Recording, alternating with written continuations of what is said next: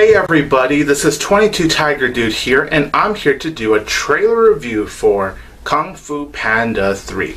And I'm going to be talking about both the Chinese trailer that released on Saturday, June 13th, that got leaked and then got taken down, and then the US trailer that just released on Thursday, the 18th of June.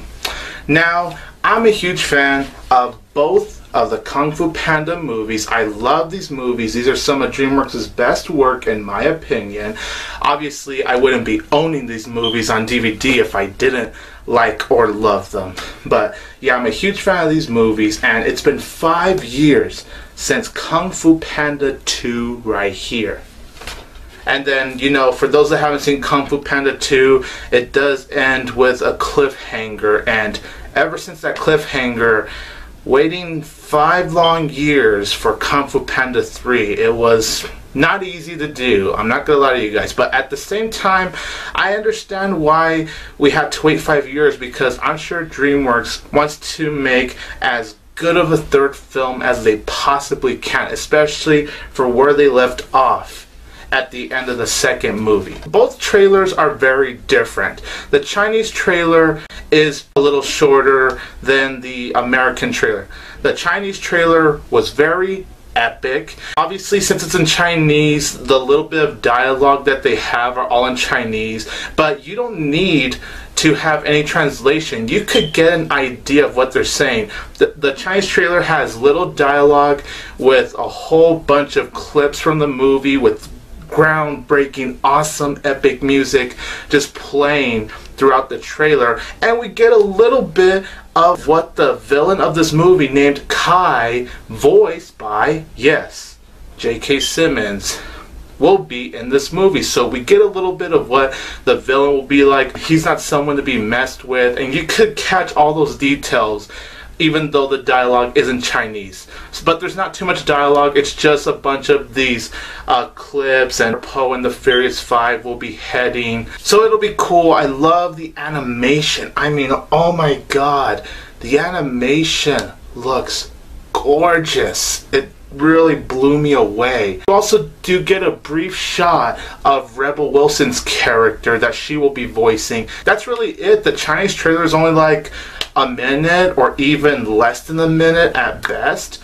So that's all I have to say for a Chinese trailer. It was epic. It was beautiful. I love the music that was playing. It flowed well with the trailer. So I loved, loved, loved, loved, loved the Chinese trailer. The US trailer is far more different than the Chinese trailer because while the Chinese trailer gives you bits and pieces of scenes that we're going to see in the film, this one only has like pretty much two scenes, one major one.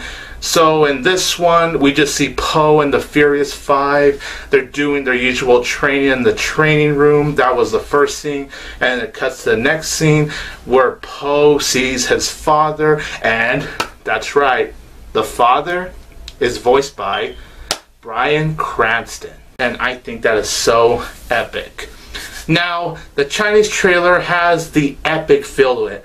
This one was obviously just to play for laughs, and there's nothing wrong with that because I also loved this trailer at, in terms of comedy. Now, of course, I do think the Chinese trailer is better because it's more epic, it's beautiful, and it really just blew me away this one, like I said, is just for like laughs. And I was laughing so hard because in terms of trailers, I haven't laughed so hard at a trailer in a long time. And I love that so far, both the Chinese and the US trailer, they really don't give you any details. They give you a little insight to the movie, but you still don't know what the movie is all about. So I gotta respect both the Chinese and the US trailer for that. And I thought it was so funny how Li Shan, I believe that's the character's name, Po's father, he says how he's looking for his son, and then Po's saying how he's looking for his father, and then the two of them, they're yeah, they're idiots. Like, how do you not recognize your own son or your own father? Uh, but it made me laugh so hard, especially with the group there, just looking at them in shock, like, they're related they're related. And then the trailer ends with Po saying, I hope you find your father. And Li Shan is all like, I hope you find your father. And the two of them walk away and everyone just face palms and goes, oh my gosh. So I love that. And I love the how the Kung Fu Panda 3 logo looked. That looked great. Followed by them showing us the cast list at the end of the trailer. So both trailers don't give you much, and I think that's great. One was epic and blew me away. One was just meant to be very funny, and I love this US trailer just for being funny. And those are my thoughts, you guys. I love both trailers, but if I have to be completely honest, I do think the Chinese trailer is just a little bit better just because it's more epic and the way it flowed was just so beautiful. I am looking forward to Kung Fu Panda 3. It is one of my most anticipated movies for 2016. And I know you're all thinking it's coming out in January.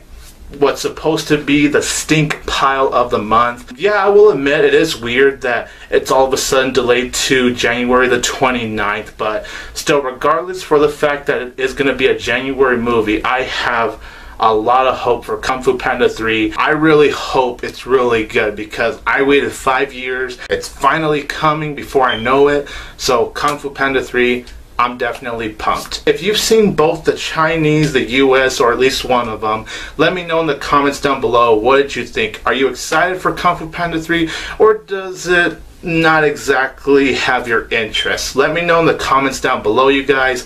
This is 22 Tiger Dude here, and don't forget that I will always have Tiger Power!